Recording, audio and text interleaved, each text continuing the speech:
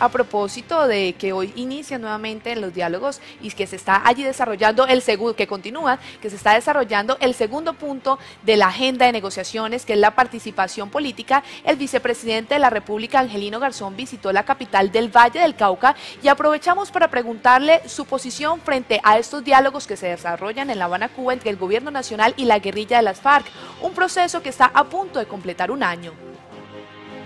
Después de haber avanzado en el primer punto entre el gobierno y las FARC en Cuba para construir la paz en Colombia, casi seis meses duró negociar el segundo punto. El tiempo va pasando y para el vicepresidente de la República lo mejor es que no dilaten más el proceso y se construya la paz antes de terminar este año. Pues que yo creo que lo mejor que pueden hacer los voceros del gobierno y de la guerrilla de las FARC en La Habana es que construyan un acuerdo.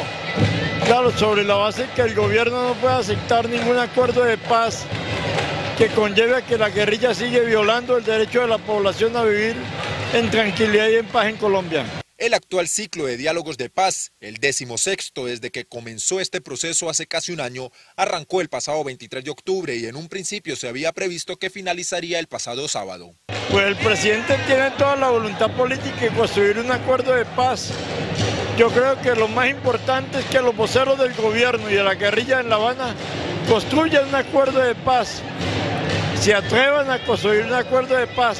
sobre la base que el gobierno no puede aceptar ningún acuerdo que conlleve a que la guerrilla sigue violentando el derecho de la población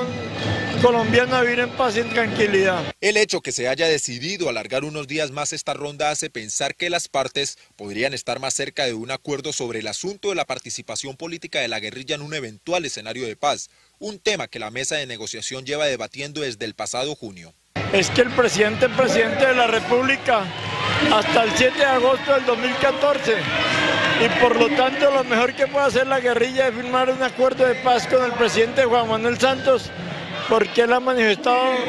constantemente que quiere construir un acuerdo de paz con ellos este mismo año.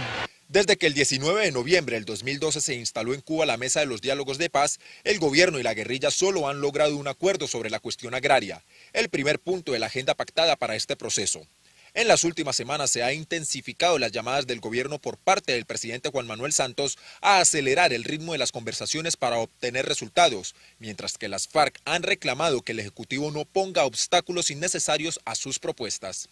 Informó para Telepacífico en la región, Norberto Arara.